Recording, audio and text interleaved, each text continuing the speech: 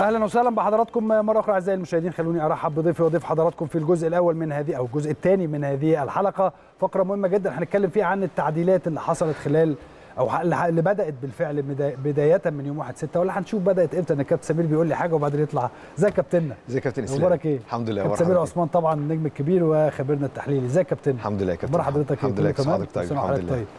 كابتن سمير دايما يا جماعة يقول لي إيه؟ يقول لي أسلام هتبدأ أول ستة وبعدين يطلع يقول لك لا هتبدأ 30 6 هتبدأ إمتى التعديلات واحد الأول؟ بدأت يعني آه بدأت آه.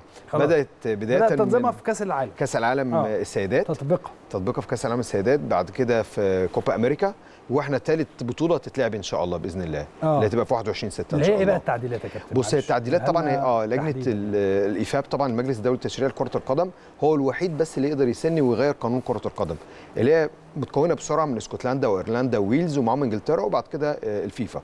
يعني هم دول بس الخمسة اللي يقدروا يغيروا؟ القانون آه، انجلترا بريطانيا العظمى هي اللي عملت قانون كرة القدم. قانون كرة القدم. بعد كده معاه الفيفا اللي هو الاتحاد الدولي. يعني الفيفا ما يقدرش يقرر حاجة لوحده. لازم يرجع لجنة الإفاب اللي متكونة من بريطانيا العظمى ومعاهم الفيفا. يعني البرازيل والأرجنتين كل ده بره كل دول ليهم صوت جوه الفيفا. يعني صوت واحد ضمن إنما الأربعة التانيين دول لازم أساسيين هم اللي يوافقوا يعني. هم اللي يوافقوا على التشريعات اللي بتطلع. بالظبط. يعني آه. هو قانون كرة القدم الإفاب هم اللي عاملينه لازم بريطانيا العظمى هي اللي تقول عليها آه، أوكي. والفيفا طبعا إيه يوافق مع أساس إن الفيفا صوت واحد. كل التعديلات اللي في قانون كرة القدم لأن هم برضو اللي عملوا قانون كرة القدم زي ما حضرتك عارف يعني. التعديلات بقى يا كابتن؟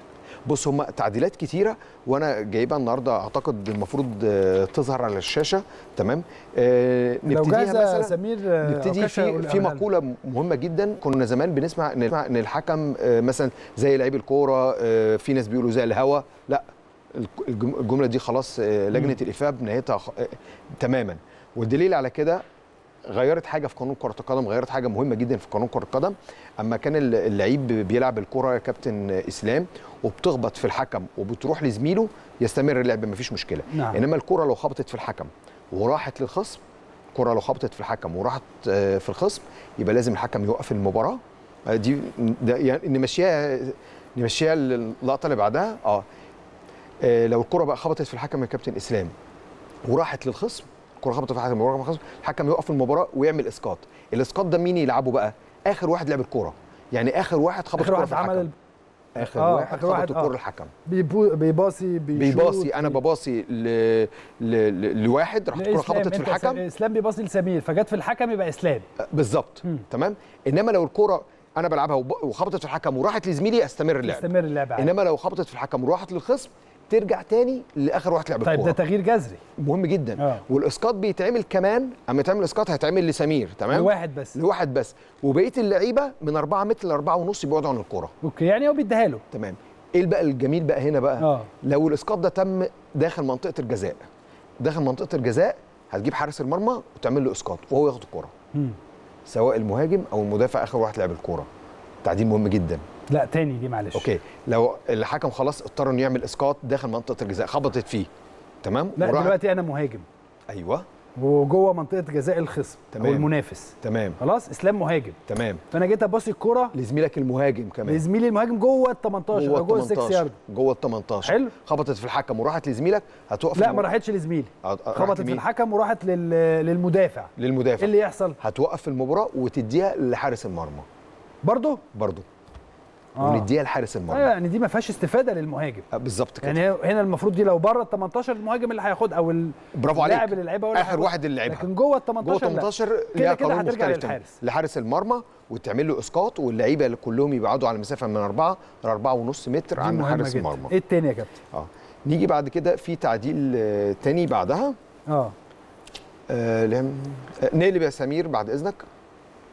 عندنا يا كابتن في عملية الاستبدال. عملية الاستبدال كان لازم الحكم بيوقف المباراة تمام؟ ولازم اللعيب يخرج من نص الملعب. تمام؟ دلوقتي لا قال لك في لعيبة كتيرة جدا بيضيعوا وقت مع الأجهزة الفنية وفي مشاكل تلاقي اللعيب التاني بيزقه وبتاع. فقال لك لا هو قريب من هنا يطلع من هنا. بالظبط من أي حتة. بس الاتحاد الدولي برضو لجنة الافاب لقت نقطة مهمة إن دي ممكن تعمل مشاكل لو أنت بتلعب في جمهور. بالظبط. هترمى من الدرجة الثالثه هتعمل مشكلة. فقال لك لا دي ترجع لرأي الحكم برضو. لو في خطورة على اللاعب لا يبقى برضه يخرج من الملعب. آه. إنما اللعيب اللي هيتأخر في الخروج أو مش هيرضى يخرج من مكان ال- إنذار. لازم تديله انذار. النقطة اللي بعدها يا سمير. اللي بعد كده؟ تمام. الأول كان عندنا يا كابتن الأجهزة الفنية اللي بره. أما بتعمل أي خطأ أنت الحكم كان بيروح بيجي يحذره شفويا أو بيطرده بيشاور له بإيده. تمام. تمام؟ لا النقطة دي اتغيرت تماما دلوقتي يا كابتن إسلام. أنت ممكن تدي كارت أصفر أو كارت أحمر للأجهزة الفنية أو الإدارية. ليه بتدي لهم كارت أصفر أو أحمر؟ عشان تبين للجمهور كله إن اللعيب المدرب اللي بره أو الدكتور أو الإداري ده خد كارت أصفر. ممكن ياخد أصفر تاني ويطلع ويطلع نفس بره. التطبيق يعني. بالظبط كده. آه. وعملوها برضو كشيء برضو من الشكل ال- الكويس إن انت عندك في بعض الحكام بيشاور المدير الفني أو الإداري بيشاوروا له بطريقة مش كويسة إنك تطلع بره بإيديهم كده. قال لك لا دي هتبقى إشارة تبقى واضحة للجمهور واللعيبة. الكارت أحمر يبقى أنت آه عارف إن إسلام اللي هو بره. مثلا المدرب العام ده خد إنذار أو كارت أصفر. ممكن بعد كده ياخد كارت أصفر تاني ويطرد. بالظبط كده ويطلع. في نقطة مهمة. إيقافه إيه بقى؟ ماتش أو ماتشين على حسب بقى لجنة المسابقات هي تقول في حاجة تانية برضو. لو أي حد من الأجهزة الفنية دي نقطة مهمة جدا. أي حد من الأجهزة الفنية عمل أي مشكلة عمل أي مشكلة والحكم والحكم ما عرفش يحدد هوية اللي عمل المشكلة دي هيروح لمدير فني ويطلعه بره. برضه بكارت أحمر؟ بكارت أحمر. آه. بس ده انت فاهمني إزاي؟ إحنا آه. قاعدين بره في الجهاز الفني والاداري. مثلا مدرب حراس المرمى قال كلمة غلط مثلا للحكم ما تمام؟ رضيش حد يقول للحكم. رضوش حد يقول الحكم. طب تعالى بقى. هي- هيجي هيطلع مدير فني بره. بس أنا عارف مصر هت يعني هتحل الموضوع ده هتلاقي المدير الفني هيضحي مع اول واحد قاعد اول. لا مش لا مش لا بتاخد اللي مش عاوزه. اللي مش عاوزه. الاداري بقى ما كده أعرفش هنعرف المدرب. مين بيحب مين. بالظبط كده. طيب اللي بعد كده؟ تمام. آه في نقطة بس قبلها برضو. اتفضل. إحنا عندنا كان في لا الحكم يحتسب يا كابتن إسلام ركلة جزاء واللعيب أصيب. طبعا أنت عارف مفيش طبعا علاج داخل أرض الملعب. لازم العلاج يبقى فين؟ خارج أرض الملعب. أرض الملعب. بس في بعض الإصابات ممكن تتعالج بسرعة. فهنا الحكم لو وقف المباراة لإصابة اللاعب واللاعب ده يا كابتن إسلام هو اللعيب اللي بيشوط عندك ركلة الجزاء؟ لا هتستنى عليه يتعالج في الملعب. بس طبعا مش وقت طويل. ليه بقى الإفادة عملت كده؟ لأن قالت أنت كده بتدي إفادة للمخطئ. انت عندك احسن لعيب بيشوط زي مثلا لقد محمد صلاح مثلا وهو لا قدر الله اصيب. أروح مخرجه بره عشان واحد تاني يشيط ويشوط لا. يتعالج في الملعب وهو يشوط ركله هو اللي الجزاء. تمام. طبعا دي نقطة مهمة جدا. تمام. نيجي للنقطة اللي بعدها. آه، دي اللي إحنا قلناها لو الحكم وقف دي أي مكان يبقى. لحارس المرمى. اللي بعدها؟ تمام. آه دي بقى دي خلي نقطة بالك سيد عبد الحفيظ كان معايا من يومين. مم. كان مبسوط قوي بالموضوع ده. قال لي أحسن عرفت. عرفت الموضوع عرفت، ده. آه. قال لي أحسن حاجة. آه. وقعدنا حتى نتناقش إن هي آه، هتتحسب للمنا- للمهاجم ولا لأ. فبرضه عايزين نفهمها من حضرتك لأن قد يكون فيها بعض اللبس حصل اللبس. إحنا من مني ومن الكابتن سيد. هنتفق على حاجتين. لو الكورة الكورة آه الكورة المهاجم جت في إيده المهاجم جت في إيده عن تعمد أو غير تعمد بتصفر وبتحسب ركلة حرة مباشرة على المهاجم. تمام. إلا إمتى؟ إذا أثمر منها هدف أو جابها كره بإيده. يعني اللعيب في في داخل ال 18 كره جت في إيده من غير قصده من غير قصده المهاجم جت في إيده من غير قصده. هتصفر وتحسب ركلة حرة مباشرة. من غير قصده. من غير قصده. تعمد اتشال في لمسة اليد بالنسبة للمهاجم. داخل ال 18 إذا أثمر عن هدف. آه. تمام؟ نعيدها تاني. معلش تاني. نعيدها تاني. مم. المهاجم دلوقتي لو الكرة جت في إيده من غير قصده داخل ال 18 أو الحدود ال 18 وأثمر عنها هدف الحكم أوتوماتيك. هيصفر من غير تقدير ويحسب ركلة حرة مباشرة بدون إنذار طبعا على المهاجم. متعمد أو مش متعمد؟ متعمد أو متعمد. آه، يعني. الكرة لو لمست إيد المهاجم الحكم كده بسهولة هيصفر. المدافع زي ما هي فيهاش أي تغيير. آه المدافع. آه. مدافع زي ما هي. معلش يا كابتن عشان نقبك طلع على شونة لأنه هو كان نفسه في الاثنين لا ما هو الاثنين هيستفيد اما يجي يهاجم إن شاء الله. أو فيها هجمة عليه. آه. فدي نقطة مهمة جدا عشان ما تعملش لبس المهاجم الكرة في معلش مرة تانية لأن إحنا أنا وكابتن سيد في الحلقة هو كان نفسنا بصراحة بس يلا معلش عشان النادي الأهلي اصله بيتظلم كتير سواء افريقيا حتى أو آه، آه، محليا. وهنتكلم معاك دلوقتي بعد ما نخلص عن ما حدث مع آه، آه، الكابتن جهاد جريشة. وأنا أكتر واحد فرحان وهقول لك ليه أنا أكتر واحد فرحان. تمام. نكمل بس كلامنا عن هذا الموضوع آه كرة اليد بس دي مهمة جدا معلش مرة آه. تانية معلش آسفين يا جماعة بنكرر لأن ده هيتطبق يوم الجمعة اللي جاية بالظبط كده. بداية من يوم أو اتطبقت في كأس العالم للسيدات وكوبا كوبا أمريكا أمريكا دلوقتي اللي شغالة وإن شاء الله بالظبط. بدايتها من يوم الجمعة اللي بالظبط بسهولة جدا المهاجم لو الكرة جت في إيده بدون قصد أو من غير قصد دخل ال 18 أو بره ال 18 بقصد أو بدون وأثمر قصد. عن هدف الحكم تيتيت هيصفر handball وهو مغمض خلاص. خلاص ده سهلة. للمهاجم. للمهاجم المدافع كما هي المدافع كل حاجة زي ما هي كما هي. تعمد وهيروح للكورة إيده هتروح للكورة بالظبط كبر. جسمه وصغر جسمه خلاص بقى القصة آه، دي. دي- خبطت في رجله وراحت لإيده برضه دي كلها تقدير الحكم تمام. ترجع كلها تقدير الحكم تمام وبالتالي خلاص في حاجة تانية ولا آه في برضه بعض اتفضل. التعديلات إحنا عندنا في. أما بتحسب الحكم ركله حره مباشره أو غير مؤثر على ال 18 في الحيطة بتقف مظبوط. حائط الصد بتلاقي المهاجم بيقف جنب الحيطة وبيضايقها مظبوط. وتحصل مشاكل راح الاتحاد الدولي قال لك لا يا جماعة إحنا هنحل المشكلة الحكم اللعيب ده يبعد متر عن الحيطة. متر. يبعد متر عن الحيطة. مم. تمام؟ دي برضو هتقلل برضو إيه الاحتكاك في. الملعب. في نقطة تانية. أنا دلوقتي حسبت آه، فاول والمفروض إنذار أديه للعيب. آه. تمام؟ أنت كنت لازم توقف المباراة وتدي إنذار. مم. تمام؟ بس اللعيب عاوز يلعب الكرة بسرعة. أنت وقفت. تمام؟ واللعيب عاوز يلعب الكرة بسرعة. لعب. العب. تمام؟ وبعد الإنذار. وبعد كده تيجي تدي الإنذار. أوكي. طبعا دي نقطة برضو مهمة. هتدي إيه لإستمرار. اللعب. آه. سرعة في استمرارية اللعب. طبعا. تمام. اتكلمنا على الإسقاط تعمل مسه اليد. منع آه، منع ظاهره الاحتكاك بين اللاعبين. بالظبط كده. وبعد كده لو طبعا لو في آه، لو أي لعيب عندنا دي برضو نقطة مهمة. أنا دلوقتي يا كابتن إسلام جبت جول تمام؟ وتقنية الفي ار لغت الهدف مثلا لأنها هتبقى موجودة. أول ما جبت الجول رحت قلعت التيشيرت. الحكم يعمل إيه؟ إيه؟ يدي انذار. المفروض خلاص؟ طب لو رجعنا للفي ار وقال لك الهدف ده مش سليم. تعمل إيه؟ تلغي الإنذار؟ مش عارف. أنت اللي تقول لي. الاتحاد الدولي قال لك لا يستمر الإنذار. برضه؟ تصور. يا نهار أبيض. جامدة دي. آه جامدة يعني اللعيب فرحان راح قلع التيشيرت. راح الحكم اداله انذار ويا سلام ده الانذار الثاني بقى. الله. هيدي له كارت أحمر. يرجع للفي آر يقول له لا يا عم الهدف ده مش سليم. آه. لا تبقى العقوبة الانضباطية زي ما هي العقوبة الإدارية زي ما هي. زي ما هي. الأصفر والأحمر يستمر. خدوا بالكم بقى يا جماعة. آه طبعا لأن طيب. في تقنية في آر طبعا. حاجة تانية؟ لا هم دي آه، دي أهم, ال- حاجات. مظبوط. ده هيتم تطبيقها بداية من مباراة آه منتخب في نقطة في نقطة مهمة جدا. ركلة المرمى يا جماعة ركلة المرمى. كان بتبقى في لعبة يا كابتن إسلام أما الكرة تطلع بره ال 18 مظبوط؟ دلوقتي لا بمجرد الكرة تتحرك الكرة بقت في اللعب. يعني لو في لعيب فرود آه، سرعته بسرعة يخش جوه ال 18 ممكن يجيبها جول. آه. بس بشرط لازم يبقى بره ال 18 ولو حسبت مثلا التسلل دخل ال 18 برضو اللعبة بتبقى في اللعبة أما إمتى الكرة تطلع بره ال 18 لا. دلوقتي الكرة أول ما تتحرك الكرة بقت في اللعب. مهمة جدا لازم المدربين ياخدوا بالهم وخاصة حارس المرمى. تاني يا كابتن معلش. دلوقتي ركلة المرمى ركلة المرمى. أنا أنا رايح أو الحارس رايح يشوط. آه كان بتبقى في اللعب أما الكرة تطلع بره تطلع بره 18 18. دلوقتي قال لك لا. أول ما تتحرك الكرة بقت في اللعب. يعني يعني ممكن ال- أنا آسف المدافع يستلمها من جوه ال 18 آه يستلمها خلاص جوه جوه 18 رجعنا تاني لجوه ال زي 18 زمان بقى. زي زمان؟ زمان قوي كمان. آه دي زمان تمام؟ زمان دي. وخلي بالك كابتن شوبير الم- لما كان بيضيع وقت في ال- زمان اتعمل له في. التسعينات. لو المهاجم بقى سبرنت جامد يعني sprinter جامد ودخل بس لازم يفضل المهاجم واقف بره ال قبل 18 الكوره ما تتلعب برافو عليك لازم يبقى بره ال 18 آه، okay. مجرد اتلعبت لو فتح sprint وخدها خلاص جول تمام؟ ونفس القصة لو ركله حر مباشره أو غير مباشره واحد جوه يبقى 18 كسبان 1-0 دي يا مهمة. كابتن. واحد كسبان 1-0 آه. خلاص؟ آه. يقف جنب الجون بتاعه يقعدوا يلعبوا مع بعض. خلاص إيه بقى. المشكلة؟ ما خلي بالك ما هو المهاجم يخش على طول. يخش يعمل يخش على طول. طيب. دي من التعديلات التعديلات المهمة جدا يعني. طب أنا هديك سؤال كده. قصير مكير. آه. قصير اتفضل. مكير ملوش علاقة بالتعديلات ولا يعني ولا كأس الأمم أنا آسف. دلوقتي يا كابتن الدوري بدأ. تمام. خلاص؟ التعديلات دي بدأت من 1 6 عرفت الإجابة. فاضل لنا ماتشين. على الدوري أنا بتكلم عن النادي الأهلي. تمام. و- هنلعبهم في شهر سبعة. هنلعبهم في شهر سبعة. كويس. هل سيتم تطبيق التعديلات اللي إحنا اتكلمنا فيها دي على الماتشات اللي فاضلة المؤجلة ولا هتعتبر ده دوري قديم؟ ده تبع الدوري القديم. المسابقة ابتدت. إمتى؟ قبل 1 6 آه. هتلعب على القانون القديم.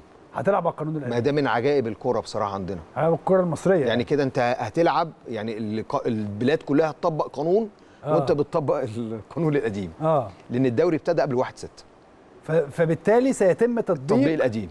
القديم. القديم. يعني, يعني مثلا اللعيبة بتوعك مثلا الشناوي مثلا عندك مثلا متعود الكرة يلعبها مثلا إيه؟ آه، قصيرة. تمام؟ لا فما يرجع يرجع بقى في شهر سبعة أو في ثمانية لازم يلعبها طويلة. طب الكاس الكاس في شهر تسعة كاس مصر. ابتدى إمتى؟ ابتدى من 90 سنة. هنشتغل من 90 سنة. فعلا؟ آه والله. ده هيلعبوا باللعيبة الجديدة في الكاس معلش بس من الدوري. القانون القانون إيه؟ كده يا جماعة الدوري بالنظام القديم اللي هو مش هينفع تت... لازم تطلع الكرة بره ال بره 18 18 زي يعني القديم. لو واحد أجنبي قاعد بيتفرج علينا هيقول لك انت يعني إيه إيه هيقول هيقول؟ المدافع مش عايز يخش ليه؟ مش عايز يخش ليه؟ طب ما يخش بالظبط يعني كده. ده هتشوفوه في كأس الأمم بالمناسبة. هتشوفوا آه. في كأس الأمم حاجة هتلاقوا عكسها بعد كأس الأمم في الدوري. بالظبط. يعني في كأس الأمم هتلاقوا اللعيبة بتلعب جوه ال 18 عادي اللاعب مع حارس المرمى. بعد كأس الأمم هتلاقوا اللاعب. لازم يستلم الكرة من بره ال 18 في مباريات الدوري وفي مباريات الكاس الكاس طالما مسابقه الكاس. ابتدت قبل كده لأن عندنا مسابقه الكاس ابتدت من زمان قوي بتاع السنة دي صح؟ هنبقى ننزل الأجانب الترجمة هم انيس عبيد هم. يتخضوا ها؟ شوف الحاجات دي هيستغربوا يعني هيستغرب آه طيب بس ده سؤال خ- مهم اللي حضرتك قلته ده آه سؤال مهم جدا بصراحة طب بقى أنا عايز أسأل طيب حكم. أجنبي هيعمل إيه؟ لو حكم أجنبي لازم تبلغوا لازم تبلغوا تبلغوا بإيه؟ لا هتبلغوا إن إحنا لسه القديم عادي؟ والله؟ تصور يعني أنا دلوقتي الحكم والزمالك ده. الحكم آه كولينا هيرجع ي... ما إحنا نرجع كولينا بقى يحكم تاني. بس انت عارف انت بت- بتصور ان في ماتش الأهلي والزمالك هيجي فيه حكم أجنبي؟ أيوه ما ده اللي لازم. تفهمه. طب ما هو ده اللي أنا بقوله وأنا بقول لك دلوقتي والله العظيم لازم لجنه الحكام تاخد بالها من النقطة دي وتكتبها عندها عشان ما تنساهاش. الراجل هيطبق على أنا قلت الجديد. لكم يا جماعة أهو الأسئلة أنا عايزكم بقى إيه أنتوا اللي تكتبوا الكلام ده. بس جديدة دي. إيه أنا ما؟ فكرتش فيها. إيه رأيك؟ آه ودي مشكلة؟ بس هتقنع الراجل بقى إن إحنا بنلعب على القديم هو مش هيصدق إن الدوري ده بتاع السنة اللي فاتت؟ ده مش هيصدق. 2018 مش 2019 هنلعب في شهر هيصدق. 7 آه. معلش سنة استثنائية. سنة تاني؟ استثنائية. أيوه ما أنا أصل هقول لك إيه اصل أنا طلعت المهم خلينا نرجع تاني. سنة استثنائية أو سنة طويلة. زي ما هتحسبها احسبها الجونه خلينا أو. حرس الحدود. طيب. زي الجدول. لا لا أنا مش عايز أطلع بره كأس الأمم. خلينا نرجع لكأس الأمم تاني. طيب كابتن سمير الحقيقة يعني أنا أكتر واحد سعيد بما حدث مع الكابتن جهاد جريش تمام. الحقيقة. مبروك. وأنا يعني دقيقتين بالظبط يا جماعة بس مع الكابتن سمير في هذا الموضوع لأنه موضوع مهم جدا. ليه؟ لأن الحمد لله هذا البرنامج هنا في ملعب الأهلي كان ساعتها ملعب الأهلي يعني. بعد ما القرار ده طلع كنت أنا على الهوا. مظبوط. الحمد لله الحمد لله يعني و- واتكلمنا في- واتكلمت مع حضرتك واتكلمت مع آه، آه، وحضرتك جيت برضو وكان ليك دور في هذا الموضوع. آه، الحمد لله بعد ما البرنامج خلص على طول الكابتن عصام طلع في كل ال... وكان صعب إن الكابتن عصام بينام بدري فطلع الساعة واحدة بالليل وقال يا جماعة. هنبعت تظلم للاتحاد الأفريقي وبالتالي أنا بشكر الجميع كل بشكر كل أي حد وقف في هذا الموضوع لأن سمعه الكابتن جهاد جريشه أو سمعه أي حكم مصري هي من سمعة. إحنا بينا وبين بعض هنا ماشي مظبوط برافو عليك نقطع بعض برافو عليك ونقول اللي إحنا عايزينه صح. على بعض. وكل حبيبنا وبين بعض هنا صح. طبعا لكن إن إحنا يبقى عندنا حكم مصري بهذه القيمة قيمة الكابتن جهاد طبعا. حتى لو أخطأ بالمناسبة يعني حتى لو أخطأ تمام وبالتالي أنا سعيد جدا جدا جدا بما حدث مع الكابتن جه- جهاد جريشة وأنا بشكر الكابتن عصام عبد الفتاح الحقيقة على الرغم من اختلافي معاه واختلاف وجهات النظر في بعض الأمور ولكن يظل صديق عزيز وكل حاجة ولكن أنا بشكر الكابتن عصام عبد الفتاح. آه، بشكر المهندس هاني أبو ريدة برضو لأن البعض خلي بالك ما أعرفش ليه دور ولا ملوش دور ولكن البعض برضو بيقول مين اللي ملوش دور؟ المهندس هاني أبو ريدة. بص عشان أنا قريب جدا من الموضوع ده معلش بعد هسيبني لنا أنا. اتكلم آه. الموضوع ده اللي عمله كابتن أحمد شوبير وبعد كده كابتن هاني بوريده okay. بعد كده يجي طبعا كابتن عصام عشان هو المسؤول في الآخر. حلو. إنما نحرك الموضوع ده رقم واحد كابتن أحمد شوبير بعد كده كابتن هاني أبو ريدة. هم دول اللي حلوا موضوع جهاد. أي حد في الدنيا يقول خلاف ذلك مش صح. بس مين اللي حركه؟ كابتن أحمد شوبير لا بعد- الأهلي يا كابتن والله. آه، خلاص أنا أنا. لا بجد والله أنا أنا عارف. ما أنا فاكر أنا في اليوم ده حضرتك. كلمتني مظبوط. أنتوا من أول الناس اللي اتكلمتوا في الموضوع ده؟ لأن هو كان لسه طالع. إحنا طلعنا الساعة لسه- 10 وهو كان 10 الا 5 بالظبط إن الخبر كان قبل صلاة المغرب بشوية. شو بالظبط كده. بالظبط. واتكلمنا قلنا إن الموضوع ده إن شاء الله كابتن هاني أبو ريدة يبذل قصارى جهده. آه. عمل الموضوع ده كابتن أحمد شوبير ثم كابتن هاني أبو ريدة. هم اللي حلوا الموضوع. حلو جدا. يبقى إحنا بنشكر الكابتن أحمد شوبير. آه، دايما مواقفه مواقف طبعاً. رجولية الحقيقة طبعا مع جاد ده وجاد عارف كده كويس طبعا وده اللي المطلوب إن هو يحصل مع كل الحكام إن إحنا كابتن شوبير بقى كابتن هاني كابتن عصام عبد الفتاح كابتن آه، خالد لطيف كابتن حازم إمام كابتن دورهم، سيف ده زاهر دورهم. ده دورهم إن هم. يعملوا كده آه، حركنا المية الراكدة شوية هي بالظبط. اللي خلت بس بس أنا عاوزك. تحرك مية راكدة تانية يعني الحمد لله رب العالمين ألف مبروك ألف مبروك لإبراهيم نور الدين في أمم أفريقيا بس في يا جماعة واحد اتعمل عليه ظلم بين محمود بين البنا. لا محمود البنا بالظبط. البنا، سوري، محمود. البنا موجود يا جماعة في القائمة الأولانية. اتشال في القائمة الثانية ليه؟ النهارده محمود البنا من حوالي ثلاث ساعات جري امتحان الورنر ونجح. حلو. نجح. دلوقتي لقوا لقى نفسه بره؟ طبعا. ده حرام. أنا بقول لك ده حرام ده ظلم ده. فأنا بطالب برضو كابتن هاني بوريدة وكابتن أحمد شوبير لازم ومعاهم كابتن عصام بقى. كابتن عصام تدخل في موضوع البنا. كابتن عصام فتح رئيس لجنة الحكام وعضو لجنة. الحكام الرئاسيه لازم يتدخل في موضوع البنا ياخد حقه مع إبراهيم نور الدين وأمين عمر وجهاد يا رب والأربعة يعملوا سعداء جدا. أنا شخصيا سعيد جدا بجد من الحاجات اللي الواحد عملها وسعيد بيها. إن شاء إن الله. الكابتن جهاد جريشة طبعا حقه. آه، طبعا الكابتن شوبير وكابتن هاني وكابتن عصام لهم الدور الأكبر وال- حقيقي وكل حقيقي. حاجة. طبعا. ولكن أنا أقصد برضو مهما كان حركنا حتى ولو جزء بسيط. أنت مبسوط عشان أنت عملت إنجاز. شفت ظلم؟ بالظبط. فاتكلمت عليه؟ بالظبط. فالنهاردة أنت أنت ممكن تكون سعيد زي جهاد كمان. ان إن أنت جبت يعني حق واحد مظلوم. بالظبط كده. نتمنى رب كل الخير للتحكيم المصري هيكون معانا لينا حلقة مع بعض إن شاء الله قبل بداية بإذن الله. كأس الأمم. هنتكلم عن أفضل الحكام وهنتكلم رسالة رسالة منك برضو للحكام الأفارقة لأن جمال بالماضي المدير الفني للمنتخب الجزائري ومش هو لوحده بالمناسبة وكذا مدير فني آخر. اتكلموا عن القلق. أنا بوصف اللي هم بيقولوه القلق من التحكيم الأفريقي عنده في حق. هذه المباراة وعنده حق. عنده حق طبعا. وبالتالي هيبقى لنا لازم حلقة نحاول نعرف الناس ونقولها بالأرقام. وبالأرقام وبالأرقام. إن شاء الله. أنا بشكر حضرتك شكرا, شكرا جزيلا. يا كابتن سمير. ودايما الحقيقة بتمتعنا بتحليلك البسيط حبيبي. والمفيد ويعني الناس كلها عرفت دلوقتي الكرة اللي جت لو- في الإيد آه تاني. المهاجم تاني يا جماعة أهو إحنا أيوة، لحضراتكم نقطة. الكرة لو جت في الإيد المهاجم بتحتسب. ضربة حرة غير مباشرة ضربة حرة مباشرة. أو أنا آسف آه. ضربة حرة غير ضربة حرة مباشرة سواء عن عمد أو عن غير بس عمد. كده. صح؟ واللي في المدافع الباقي زي ما هي قديمة. تمام زي ما هو. كده أنا اطمنت الحمد لله. طيب. و- و- وإن شاء الله إحنا بنأكد مرة تانية أو ثالثه ورابعة إن إحنا آه، هنكمل مسابقة الدوري العام المصري اللي هي بدايتها بعد نهاية كأس الأمم الأفريقية بالشكل القديم للتحكيم. بالظبط. مرة تانية بنقول لحضراتكم وكاس مصر برضو هيبقى بالشكل القديم للتحكيم حتى لو قعد لشهر 11 اللي جاي. هو ده آه، النظام والكابتن سمير القلهون أنا بشكر حضرتك. شكرا جزيلا شكرا كابتن سمير شكرا كابتن إسلام. شكرا جزيلا للنجم الكبير الكابتن. سمير عثمان هنطلع أيضا لثلاثه من النجوم الكبار. النجم الكبير الكابتن فتحي نصير النجم الكبير الكابتن شريف عبد المنعم النجم الكبير الكابتن أسامة حسني هنتكلم عن المنتخبات منتخبات المجموعة الثانية. فاضل لنا منتخبين زي ما قلت لحضراتكم ومنتخبات المجموعة الثالثة من الناحية الفنية والتحليلية. بعد ما نشوف بقى إيه تقرير عن الأخطاء آه، التحكيمية في البطولات الإفريقية. نطلع نشوف هذا التقرير ونستقبل بعديه نجومنا الكبار.